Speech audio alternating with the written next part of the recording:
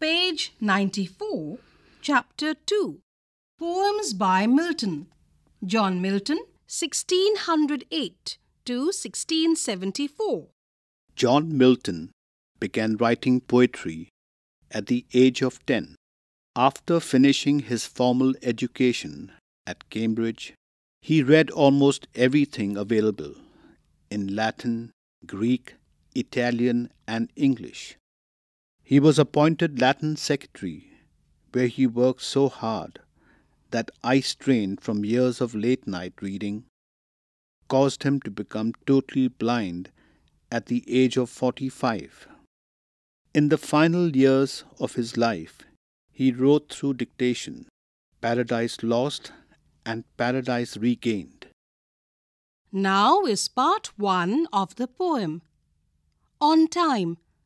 Fly, envious time, till thou run out thy race. Call on the lazy, leaden stepping hours, whose speed is but the heavy plummet's space. And glut thyself with what thy womb devours, which is no more than what is false and vain, and merely mortal dross. So little is our loss, so little is thy gain.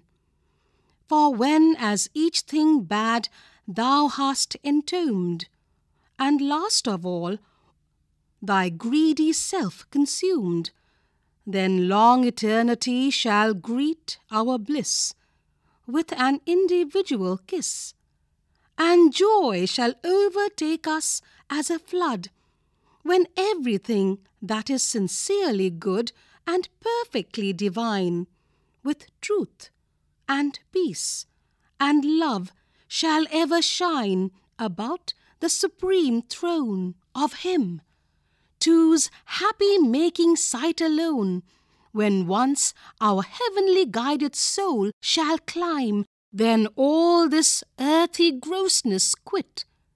Attired with stars, we shall for ever sit, triumphing over death and chance and thee, O time. Page 95. Notes Envious time. According to ancient mythology, Kronos devoured each of his children at birth. Plummets. A lead weight whose slow mechanism activates the ticking mechanism in a clock. Understanding the poem. 1.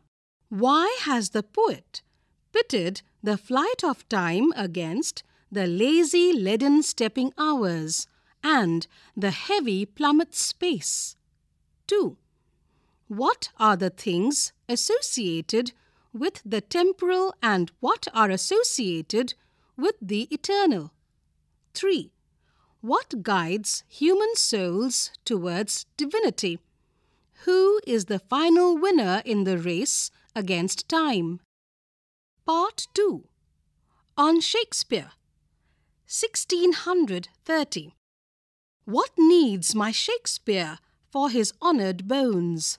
The labour of an age in piled stones, or that his hallowed relics should be hid under a starry pointing pyramid. Dear son of memory, great heir of fame, what needst thou such weak witness of thy name? Thou in our wonder and astonishment hast built thyself a live-long monument. For whilst to the shame of slow endeavouring art, thy easy numbers flow, and that each heart hath from the leaves of thy unvalued book, those Delphic lines with deep impression took, then thou our fancy of it self-bereaving. Page 96. Dost make us marble with too much conceiving, and so sepultured in such pomp dost lie, that kings for such a tomb would wish to die. Notice the spelling of Shakespeare and of the words easy, conceiving. Understanding the poem. 1. Why does Milton feel it is not necessary to put up a monument in stone for Shakespeare? 2. What does the weak witness of thy name refer to? 3. How does Milton describe Shakespeare as the source of inspiration for all succeeding generations of poets? 4. What is the best tribute that posterity has bestowed on Shakespeare? Language study. Etymology is the study of the history of linguistic change. When applied to individual words, it is an account of 1. The history of a word 2. The derivation of a word.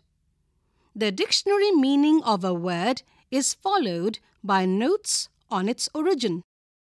For the word entombed, the information we get is late, ME.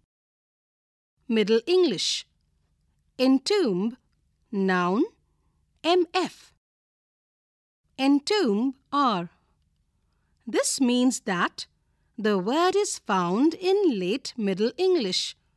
The word is of French origin and is found in use from 1578.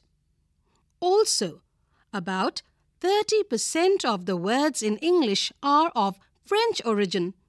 Borrowings from French reached its height after the Norman conquest. 1066 between 1250 and 1400. Suggested reading On His Blindness by John Milton.